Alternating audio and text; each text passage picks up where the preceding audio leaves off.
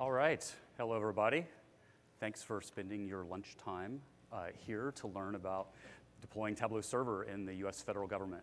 So, how many of you work either directly for the federal government or for a contractor? Okay, good. um, you're in the right place. That's very good. So, my name is Kyle Gupton. I am a product manager, uh, director of product management at Tableau in the development team, and I work with our customers in the vertical markets that we pay special attention to. Um, so for us, that's public sector, healthcare, and financial services.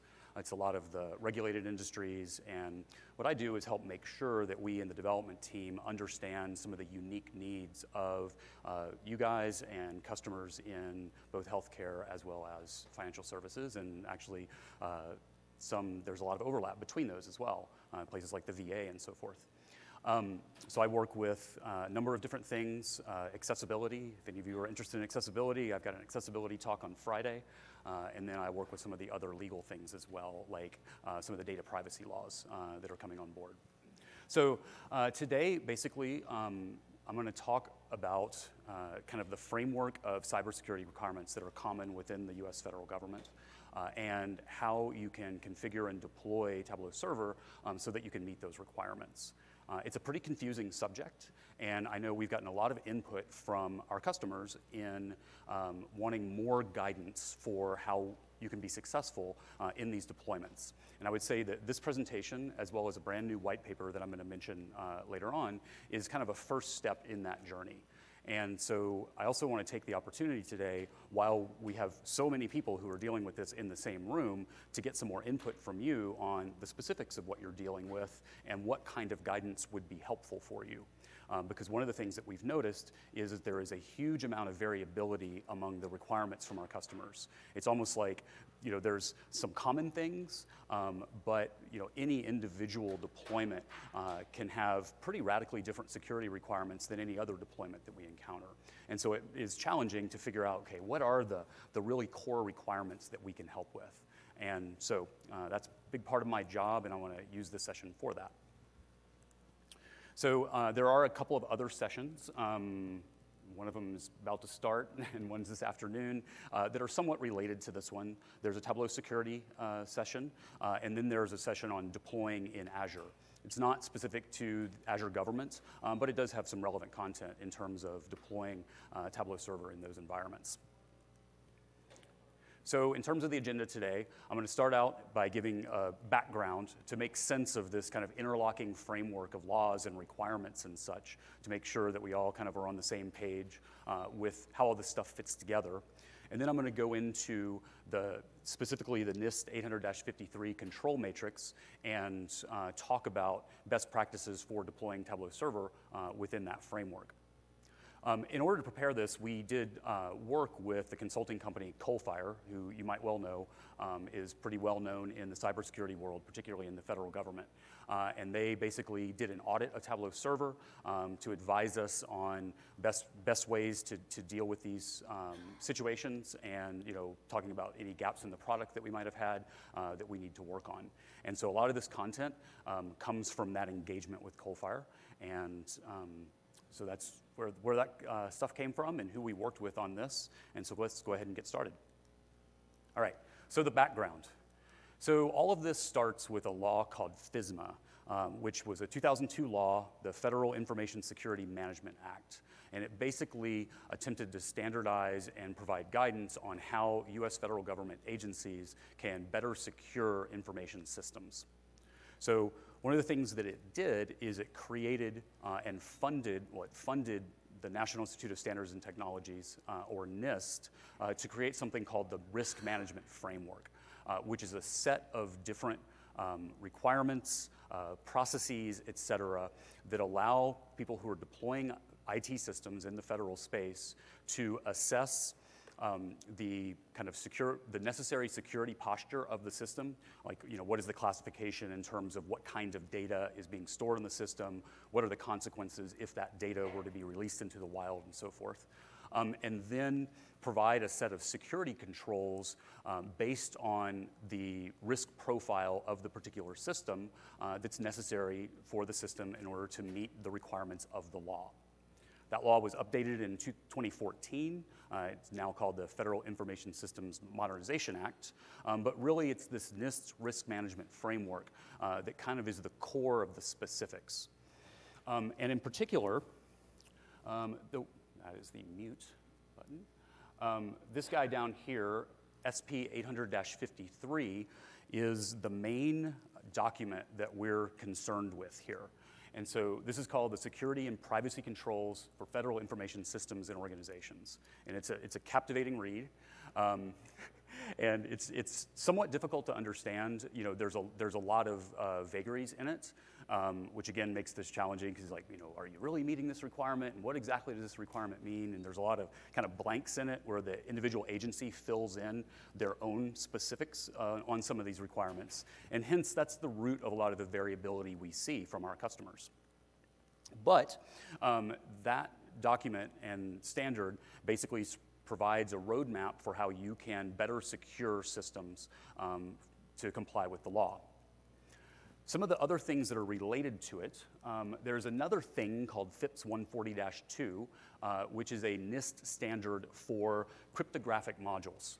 Uh, so these are either pieces of hardware or software that perform encryption and decryption, and it's a set of requirements around not only the specific algorithms that are used for the cryptography, but also how the modules themselves are implemented, how the hardware is implemented, how the software is implemented. Um, and there are multiple levels of, there are three different levels of, you know, kind of uh, security with these cryptographic modules. And they, you know, the, the, hardware ones are interesting because they have things like, you know, tamper-resistant um, cases and things like that are part of the requirements here. So if, you know, a hardware device were manipulated or changed by someone physically, you'd be able to tell that someone uh, touched the device. So it's an interesting standard.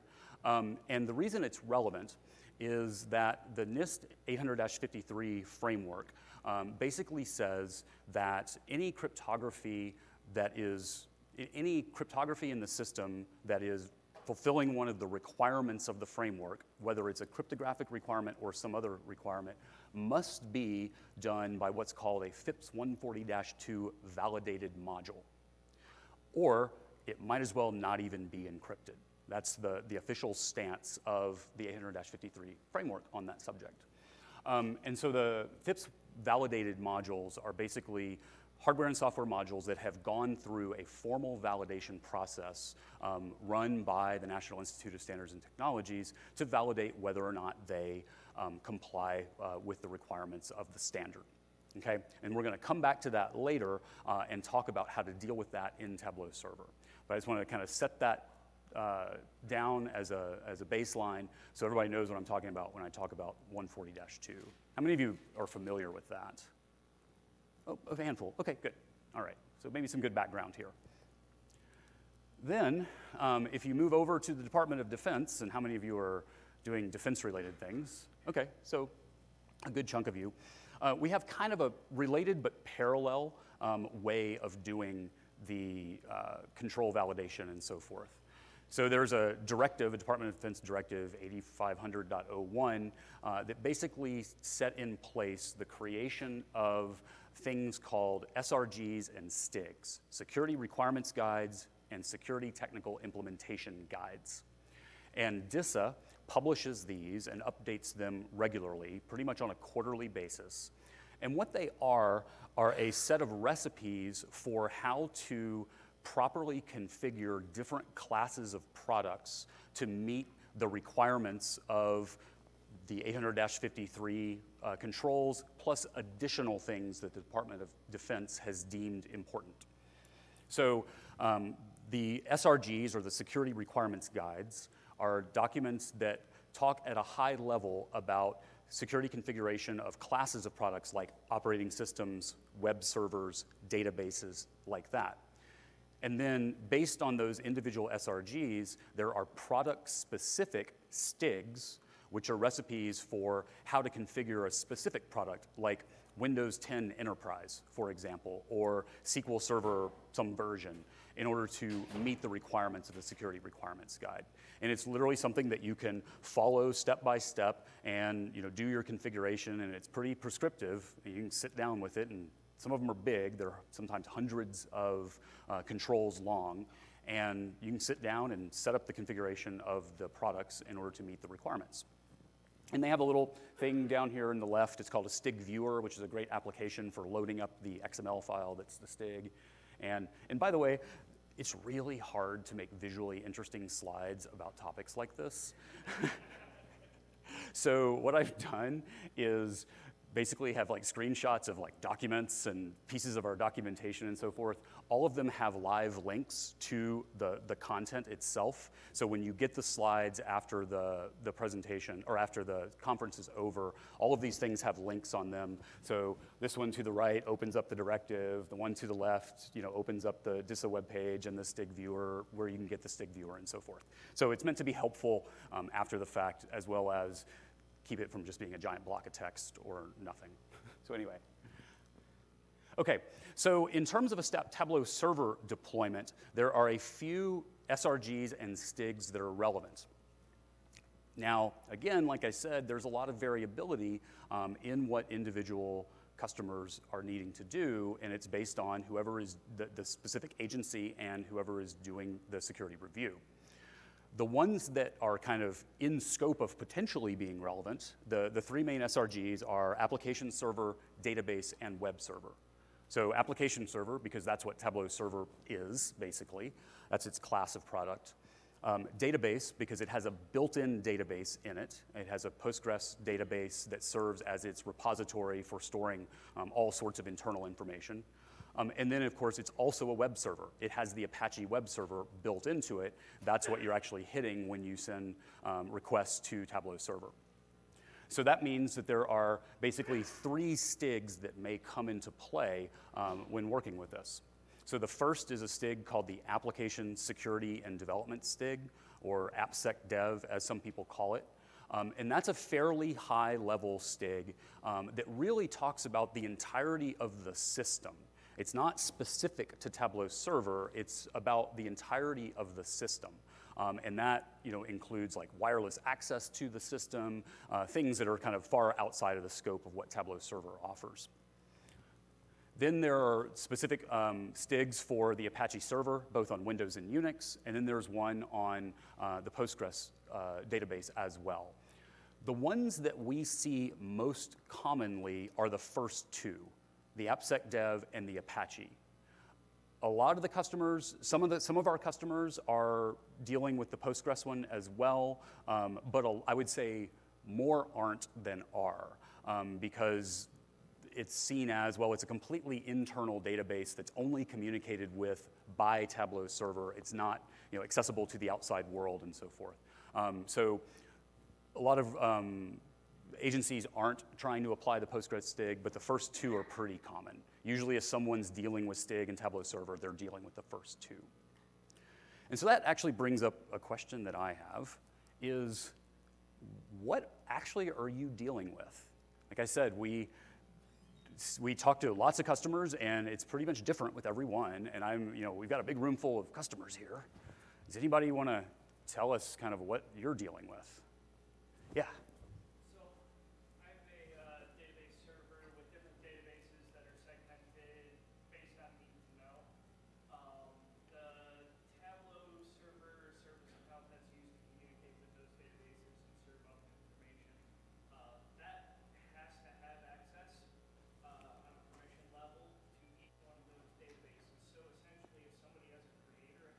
Mm-hmm. Because I cannot specify more than one service account in Tableau, a creator account is basically has access to all of those different databases regardless of their level of detail for each one. Okay.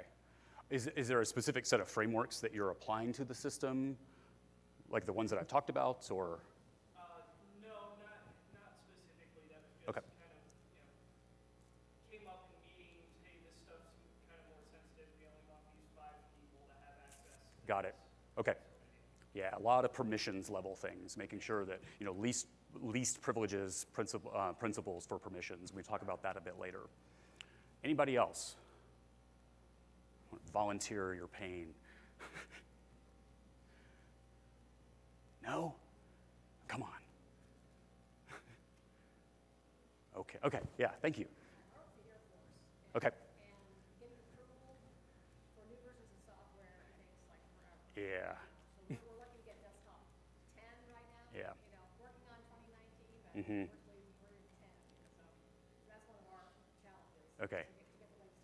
Yeah, so we, we do work with AFNIC, um, is who does the, the Air Force Network Integration Center, Integration Center, yeah, who does the approvals. Um, and so, yeah, we, we work with them closely on that stuff. And so, yeah, I know that's a challenge.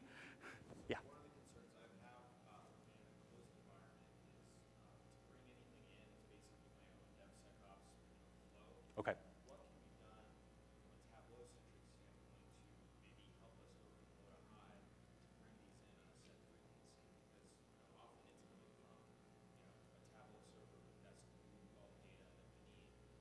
Um, it's component really on the high side. What, do you mean low to high in terms of the? Got it, okay. Um, all right. It's an interesting, I'd, I'd like to talk about that. It's not,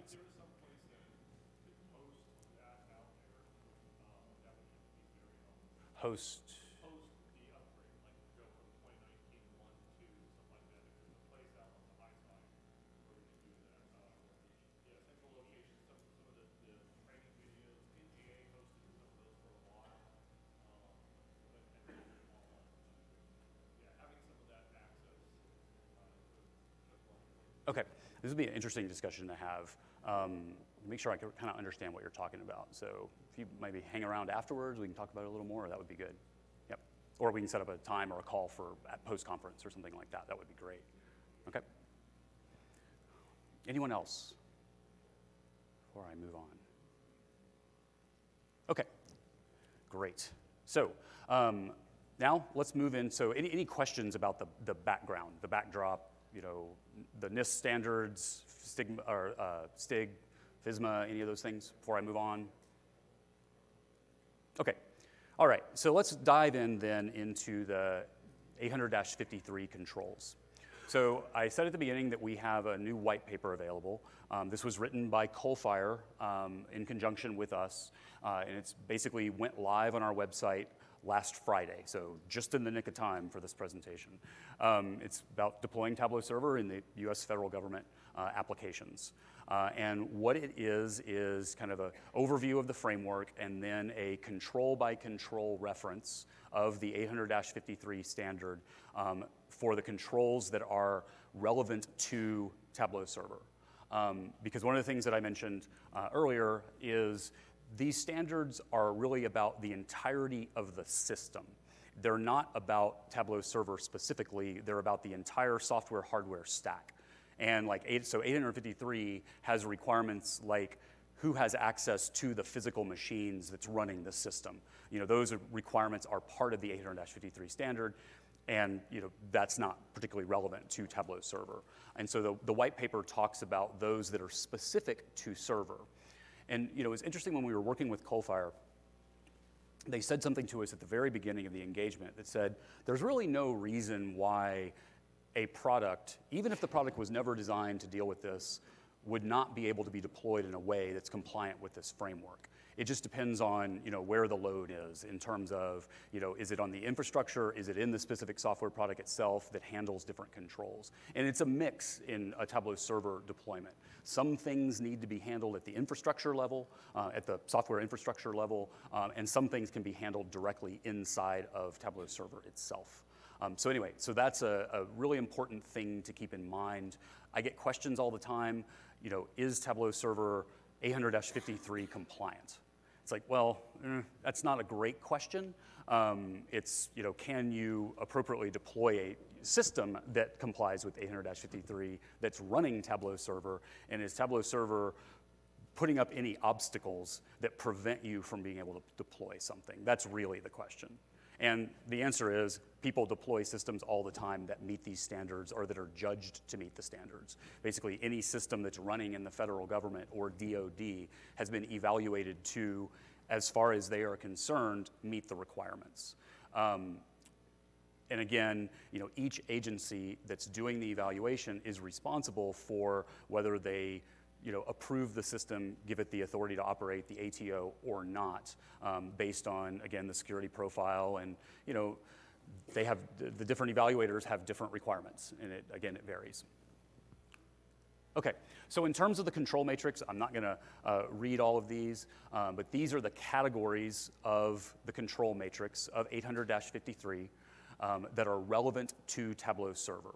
And so there's some in, there's a, one or two more groups of controls that aren't relevant to Tableau Server, but these are the ones. And it's a lot of things around uh, user authentication, permissions, cryptography, um, configuration management, all of those sorts of things are kind of what's relevant to Tableau Server. So the first big group of it is called access control. It's basically logging into the system.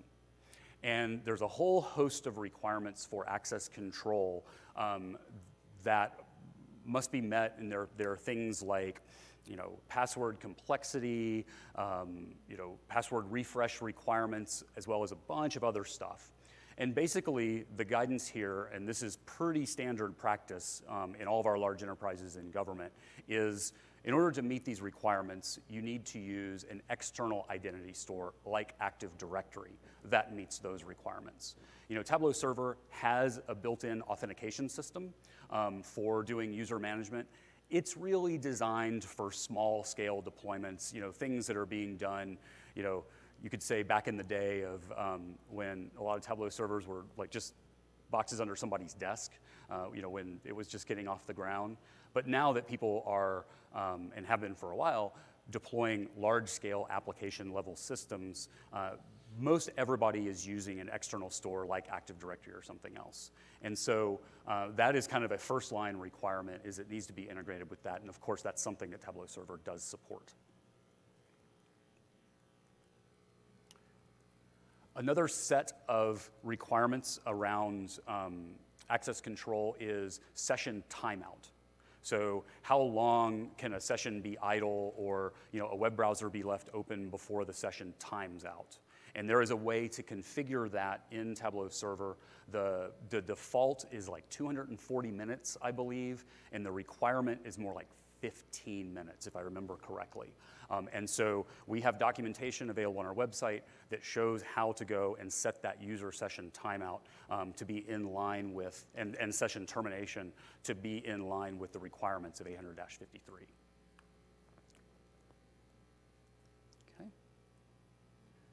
All right. Did I? Oh my God. It is, yes, yep. Sorry, I would.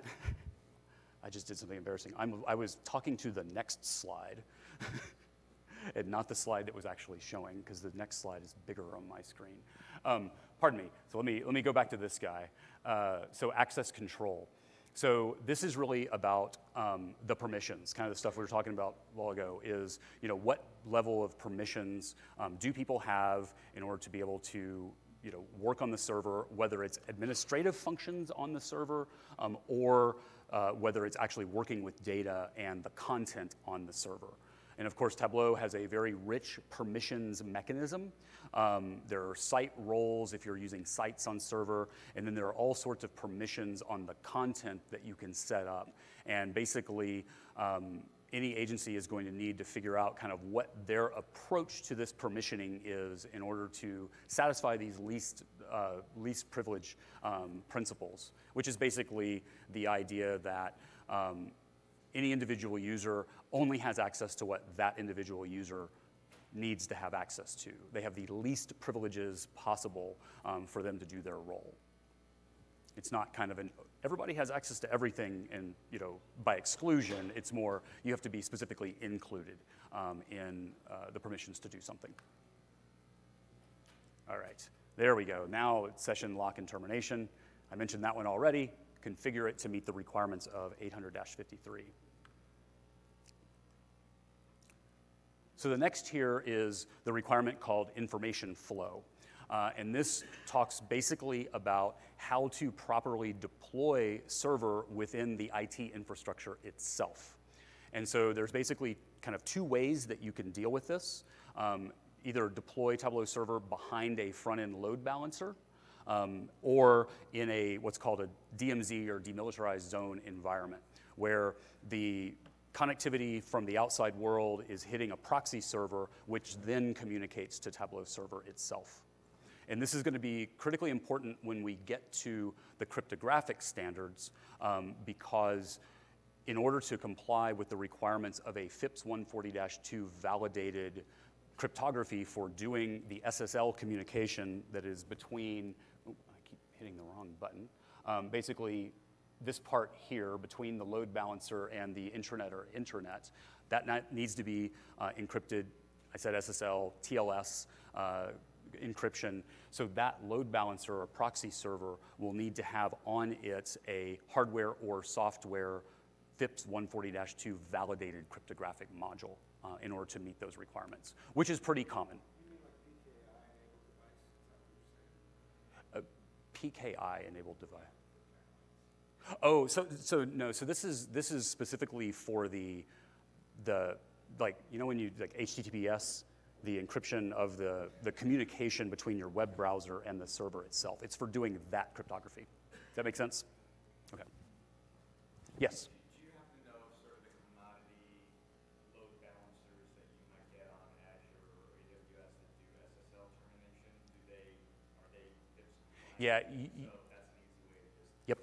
Yeah, you can, I think by default they're not, but you can use one that is. Yeah, so like the, the AWS Elastic Load Balancer, either there's a version of it or it has a mode that puts it into FIPS mode so that it does this.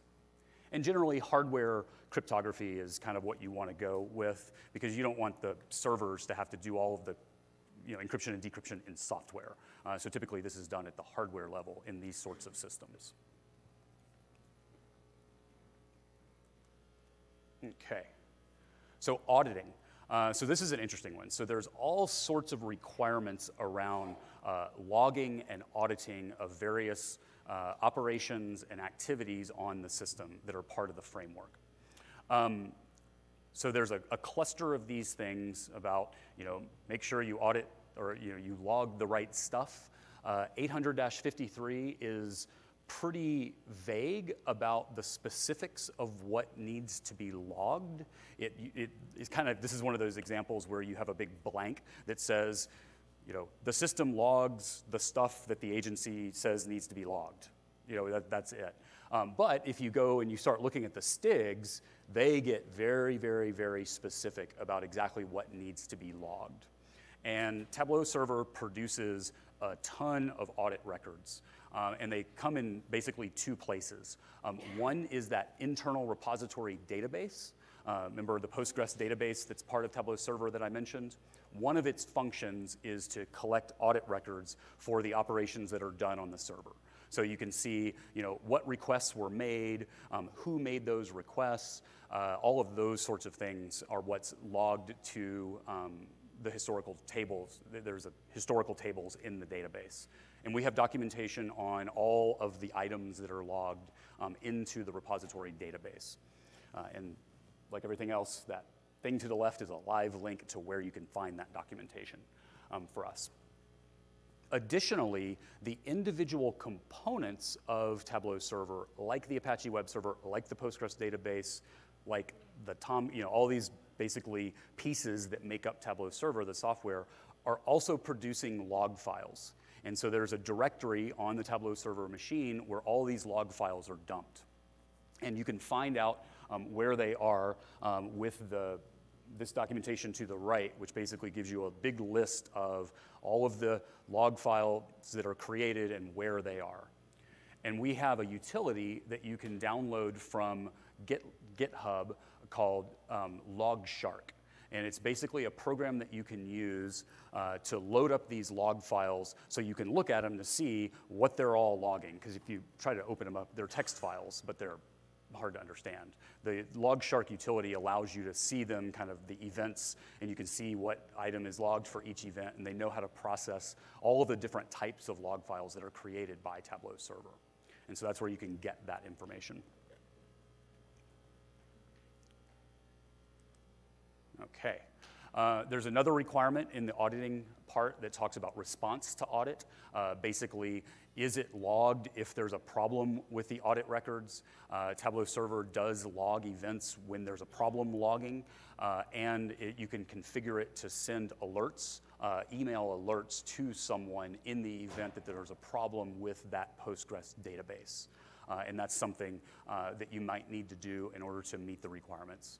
Because audit records are basically critical for determining, you know, what happens in case there's a security breach. You want to know, like, you know, what went on in the deep into the system, and it's the audit records which allow you to do uh, that kind of investigation.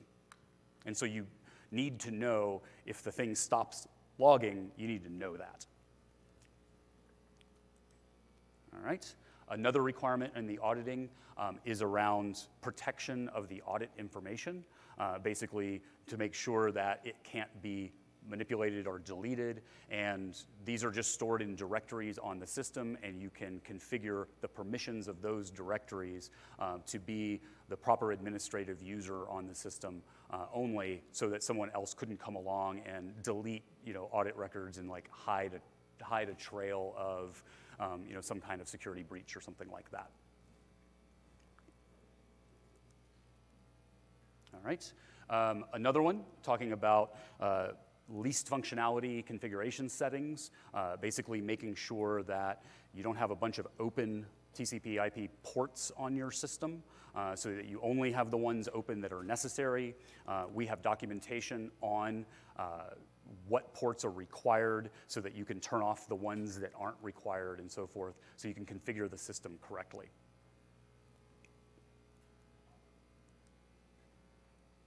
We have requirements, uh, there are requirements around information system backup. This is another big example of um, where the standard is kind of blank on what the requirements are. They just say that the system needs to support the agency's backup requirements.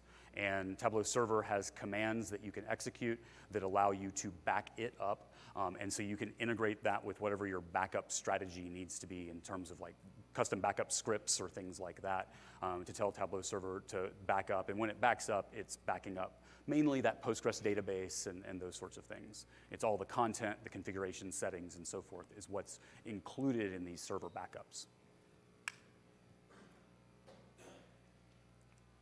All right. So uh, back to kind of identification and authentication. Uh, there's a big clump of these uh, in, this, in this group. Again, these all require the integration with the external identity store like uh, Active Directory um, in order to meet those requirements. You know, the, the built-in uh, authentication of Tableau Server does not meet the requirements. That's why you can integrate it with something else that does. Okay? Um, and then there's uh, a clump of things around, again, cryptography.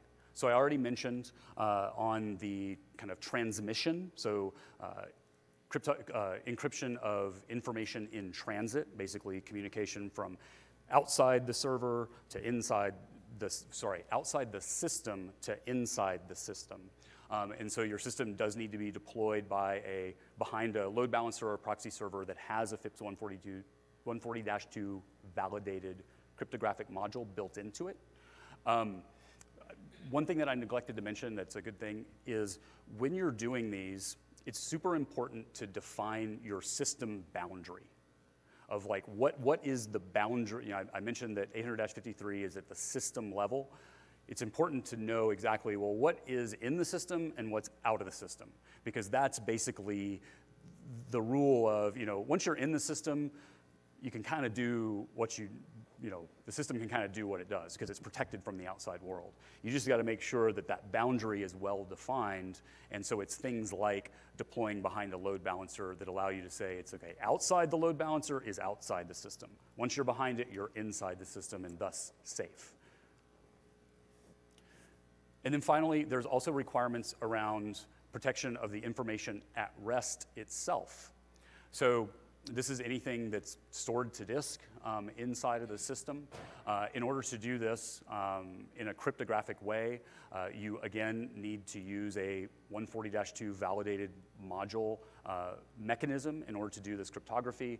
Uh, a common way people do it is they use hard disk level encryption um, on the actual machines, and there are modes that you can set up, for example, like on Windows, so that it's built in um, hard disk level encryption is using a FIPS 140-2 validated module.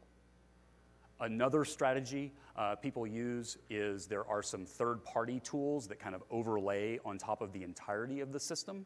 Um, and they, a uh, good example of this would be Vormetric by Thales. Um, I know a lot of our customers in the federal government use that in conjunction with Tableau Server uh, to basically do encryption of all of the data that's in the server and so forth. Um, but there's, there's multiple ways that you can handle it. Um, one, one thing to note is we recently uh, released a new encryption at rest functionality for hyper data extracts on Tableau Server that came in our 2019.3 um, enterprise um, server management uh, bundle. That does not, at this point, have a FIPS 142-2 validated module built into it, so it wouldn't meet those requirements, but that is something that we're looking into. Um, so you could use that as an alternative way to, to uh, store that, sorry, encrypt that data at rest.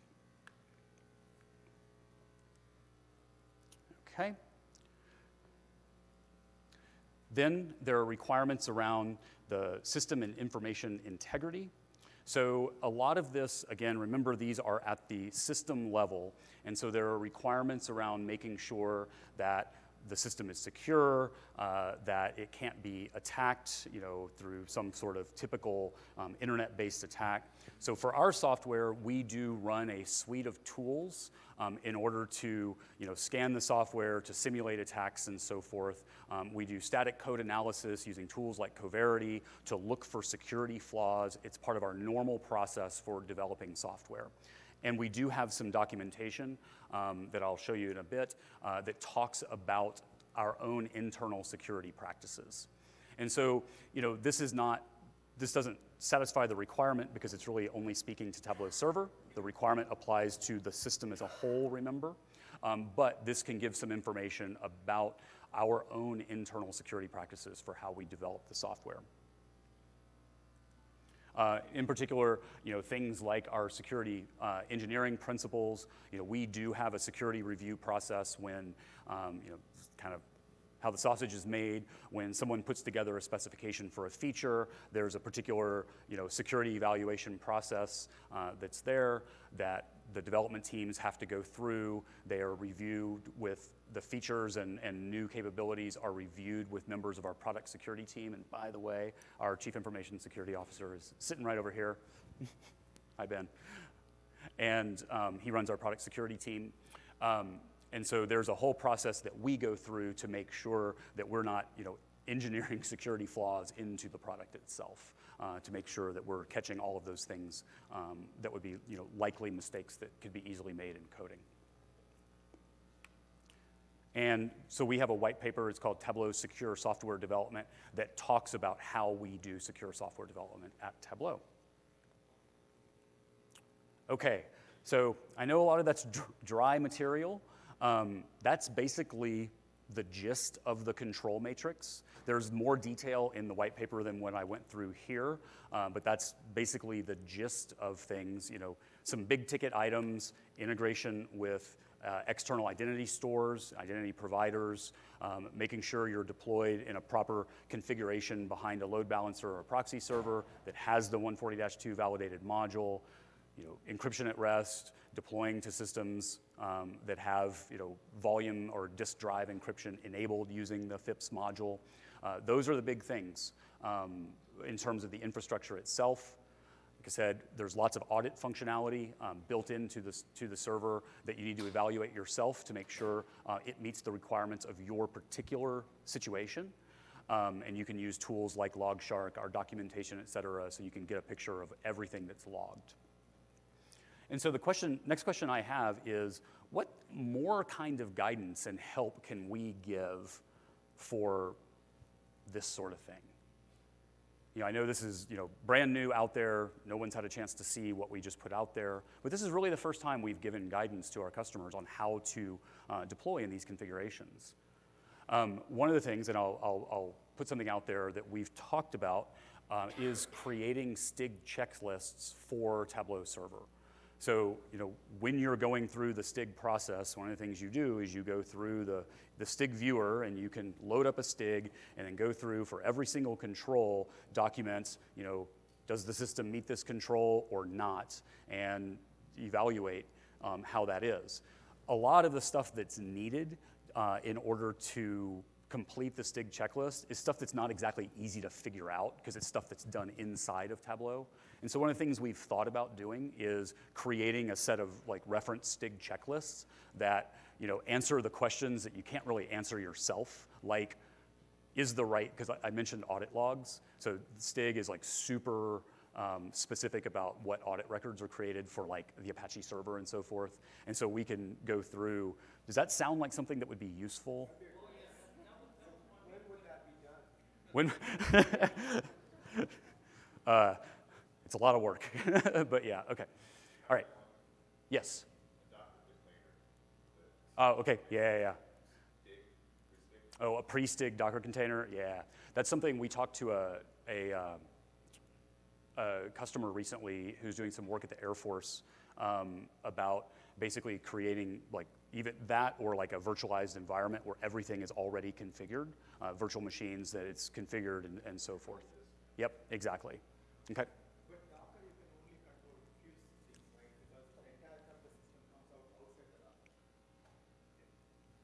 This is, this is uh, Jenga. He's one of my colleagues in the team, and he's done a ton of security deployments at financial services companies and so forth. Used to work at Oracle and some other places as well.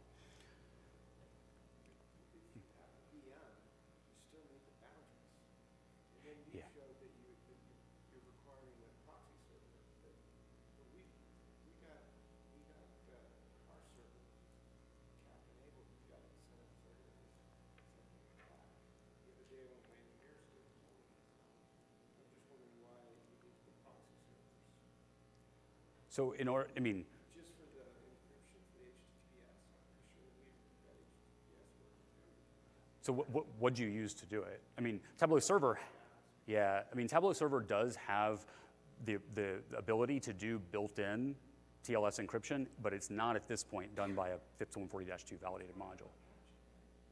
Yeah, but Apache doesn't.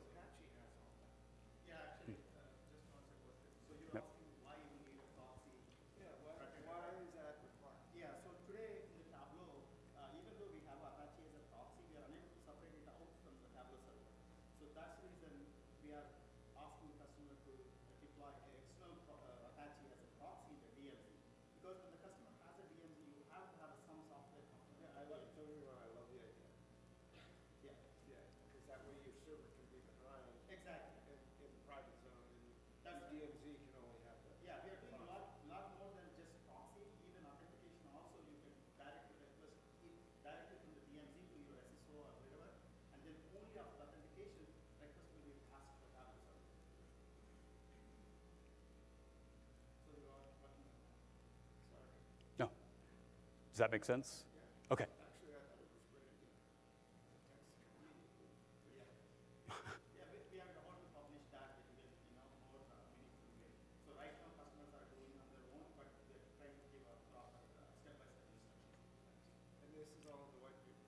So the, the, not what he's talking about. He's uh, Jenga's working on on another like deployment architectures, you know, ways to do this. So yeah, it's a, the big initiative inside is for us to be able to provide better guidance on these sorts of things um, to our customers. Okay, so definitely, so STIG checklists, big thumbs up there, right on. Um, Docker containers, virtual environments, anything else? And yeah.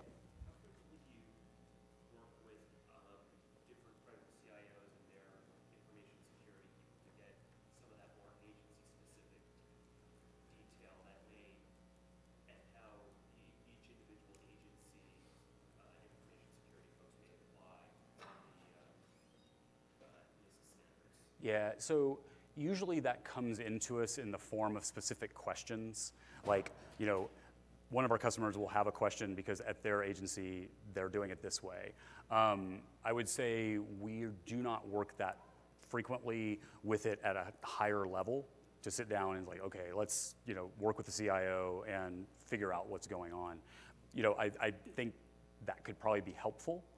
Um, you know, an, another thing that we've talked about, and I don't, this is going to be tough, is a Tableau server STIG itself. Like actually create a specific STIG for Tableau server. Is that something that would be interesting or, yeah, nodding? okay. Yeah, it's a, it, there's a big burden to do that um, and to keep it updated and so forth. Um, so we need to evaluate, is that the best way to handle it? Um, is there a, you know, is that the most efficient way to deal with this problem um, and so forth? So that's something else that we've talked about internally. Uh, is doing something like that, and that would the idea is it would subsume all of the sub stigs underneath it.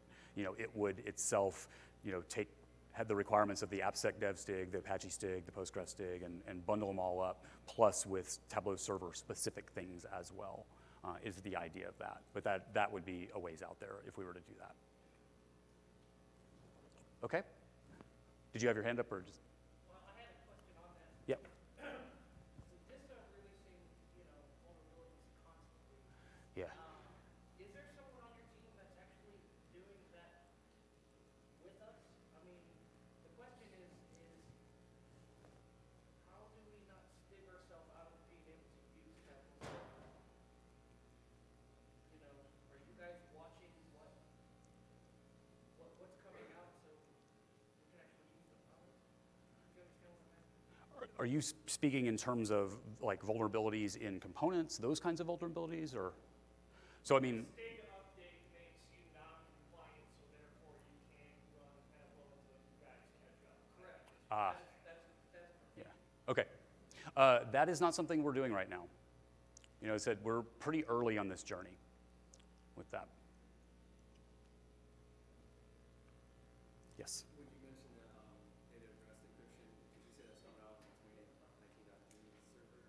Yeah, it's, it's in the 2019.3 um, server management add-on is where the, so I'm sorry, that is incorrect. It is in 2019.3 server. The server management add-on adds additional functionality that lets you use like the AWS key store to manage the keys that it uses. So, um, so yeah, and that's, that's already released. So, but at this point, it does not have, it's not a FIPS 140-2 validated module doing the encryption. Uh, but that's something that we're looking at. Okay, well, that wraps things up. Um, you know, we started out by doing a bit of a tour of the, the laws and the frameworks and so forth um, to get an idea of, of how all this stuff fits together, uh, and then went through the 800-53 control matrix in particular um, to look at the ones of, you know, what are the best practices for configuring Tableau Server to meet those requirements. Uh, there's a bunch of other resources that I have linked to uh, from this slide deck, uh, linked to the, the new white paper, um, plus all the stuff that's else you know, in there, the requirements itself, um, all of the individual, um, the, the individual security controls, there are links uh, throughout the document. So hopefully this will be a good uh, place that you can use as a tool to consolidate uh, this information. And a lot of the same links are in the white paper itself. So that's another place. It has links to all the documentation for how to do the configurations uh, for the individual control requirements.